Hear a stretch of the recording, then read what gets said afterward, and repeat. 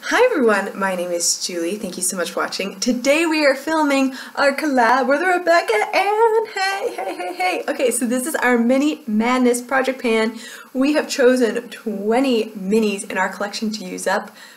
By now, it is the finale and we were gonna see how we do. Now, when we finished a product, we were able to roll one in, which was awesome for me because a lot of the products I put in at the beginning um, were very hard.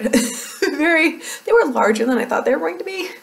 So it was nice to roll in some easier products because I hit 21. I finished 21 out of 30 products I had in this collection, this project. So I can't believe that I finished so many. I'm so proud of myself. I'm feeling like really good and ramped up for January and let's get into it because I want to show you what I didn't touch first. and these were two things that I put in at the beginning and then I just, I was using other project pans, projects and products so it like didn't work out for me. And that is the Tarte Parte blush. Um, I did use this for about two and a half, three weeks. You can see I did wear some of this down, um, not enough really to make any difference. And I definitely didn't hit pan on it, which was my goal. But I thought it was nice. I'm glad that I tried it. I'm glad I like the color. I'm going to put it away for right now. and this is the Cover FX Translucent Light Setting Powder. It's just a tiny, tiny little guy. But I was trying so hard using my Laura Mercier Translucent Setting Powder, which I did. Cha-ching! And um, this just didn't get very much love. I think I used this one time. So now let's go on to empties. because empties are really where I killed it killed it this year.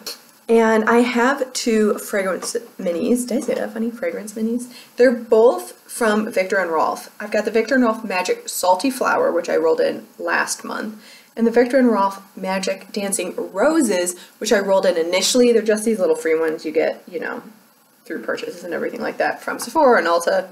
I always choose fragrance samples because it's free and fragrance is very expensive. Um, I didn't really love either of those, to be honest with you. Um, they had a deep, both of them had this deep woodsy note scent, and then it had either like a floral or the salty floral finish. Um, it just wasn't my favorite. I won't be seeking those out. I really like Flowerbomb though. Out of that brand, I really like Flowerbomb. So I'm hoping Viktor and Rolf comes out with another fragrance that I love. I also used up a lot of skincare. so I used up the Glam Glow Glow Starter Mega Illuminating Moisturizer in Nude Glow.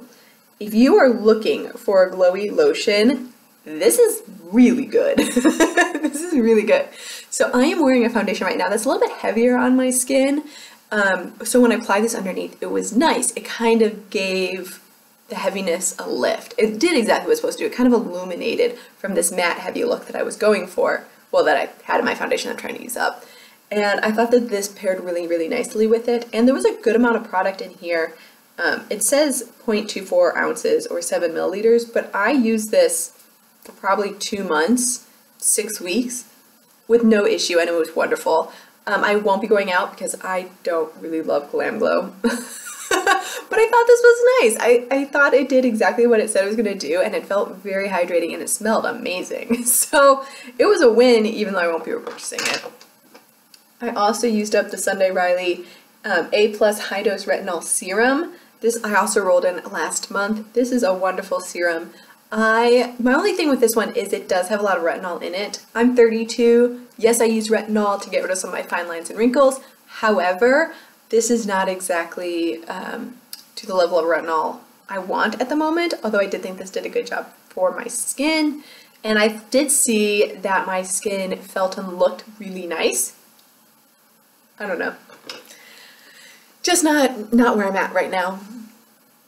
The last type of body care thing is the multivitamin hand and nail treatment. I was there when I put this in last month. Um, and I took this on my trips with me. Uh, if you guys know, I traveled over New Year's and Christmas. This came with me. I finished it up because I was flying a lot and it was very, very dry. So I actually ended up using this in a lot of different places, just not for my hand and nails, but I put it on my my elbows and my knees and my ankles. My ankles swell when I fly, so I'm an old lady. So I like rubbed it on my feet and my ankles and like got myself ready before and after flights um, with this because I get really dried out too. So I thought that this was good. I wouldn't go out and repurchase it just because I have so many lotions that I need to get through. And yeah, I have more lotions than I'll use up in three years. um, I am missing a few things. Okay, so I also lost something on one of my trips. I had this little, um, little mini of the Buxom White Russian. It did not come back from Belgium with me. I don't know where it went, but I completely unpacked and I can't find it, which is a bummer because I was really close to finishing it. And if I had found it, I would have finished it this week. But it is gone. Maybe it'll show up eventually. I remember the last thing I remember is putting it on this armoire, and I don't remember repacking it off the armoire.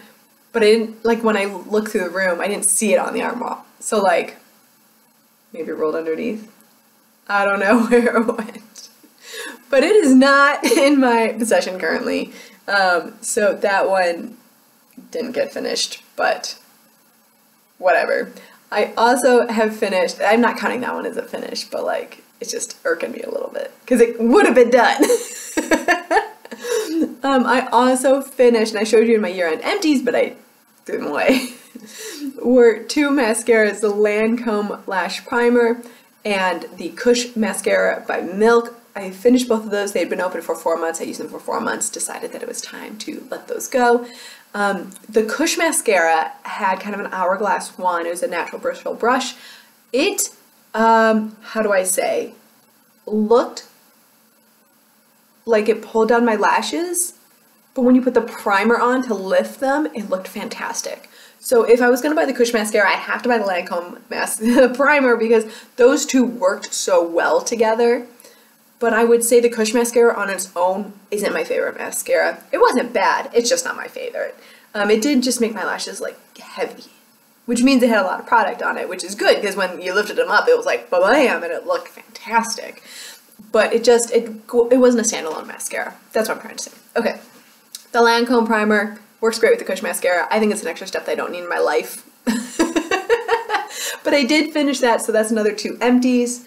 My last empties are both makeup empties. And I finished a nail polish, yay! This is the Julep in the shade Carissa. Again, this is just a mini. This took me so stinking long. Okay, so last month I was there, and then I finished all of that.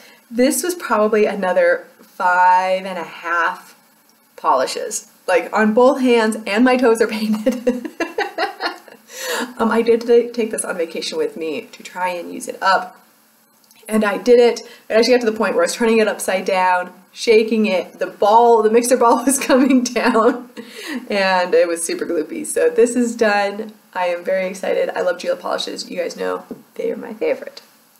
My last empty is not a surprise if you followed my mini lip use up last year, but I finally finished tannin.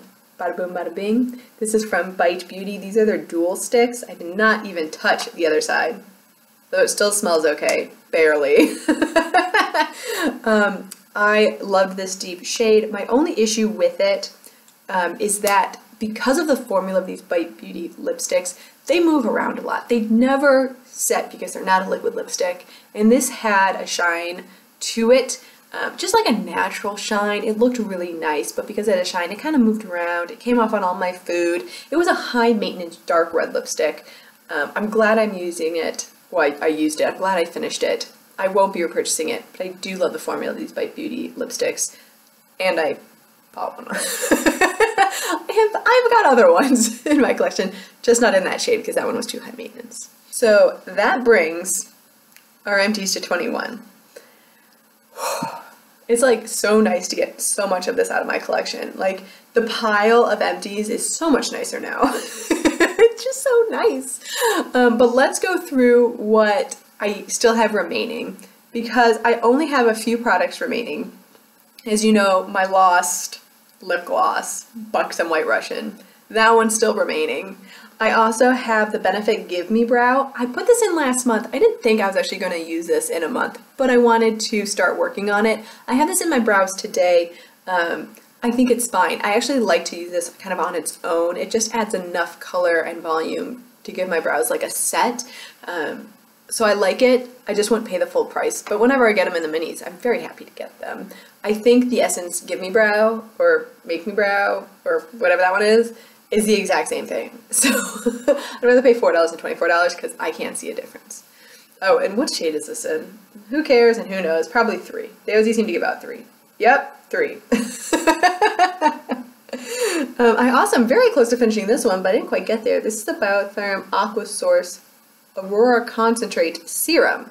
This is an intense, intense regenerating serum, moisture, and glow. So I put this in last month. It was full. I'm now right by the B in Bioderma.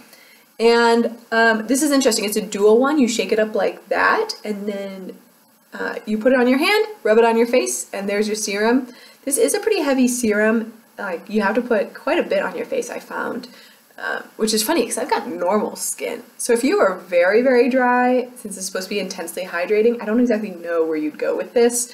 Like you have to put like this entire bottle on your face, but this is about a week's worth of use on it. Um, so I'll probably finish here pretty shortly. I thought it was nice. I probably wouldn't go out and repurchase it though. I didn't really, I just felt like I had to use so much.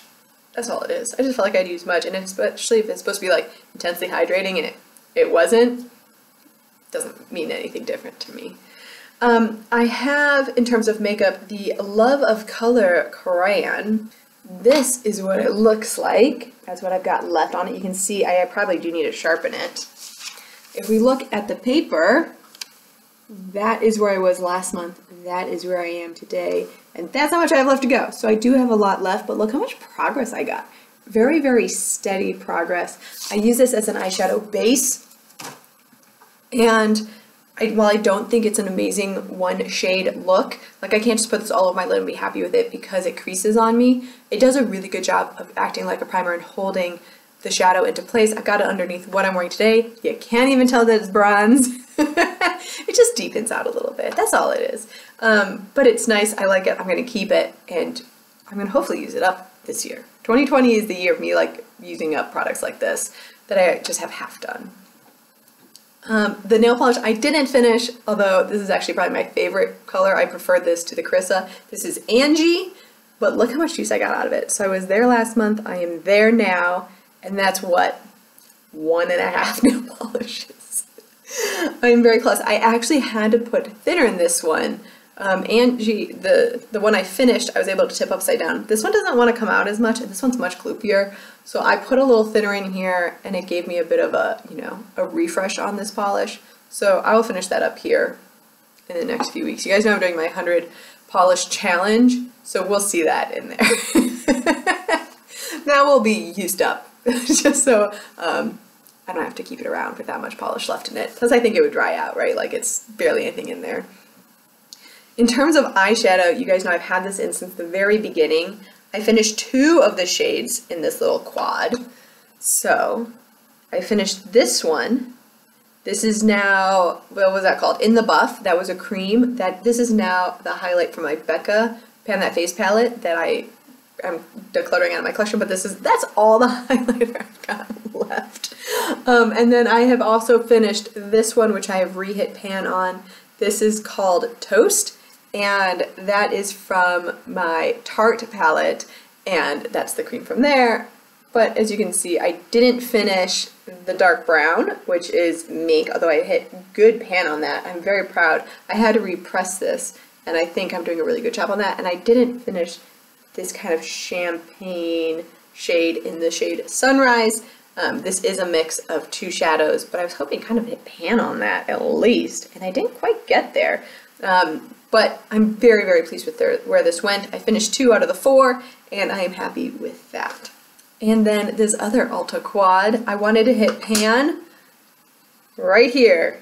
And I did. This is in the shade Iceland. You can see I hit pan. Not a huge amount of pan, but good pan. Um, my goal, I wanted to finish it, but my goal was to hit pan, so I'm calling it done, even though I didn't really finish it per se. Um, but yeah, that's what we got. This is, I can't believe that out of 30 products, I was able to finish 21. I showed you the remaining nine that I have with me. God, I think this is the second time in three years I have lost a product, which is like,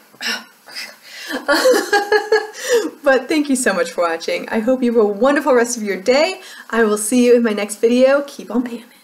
Bye.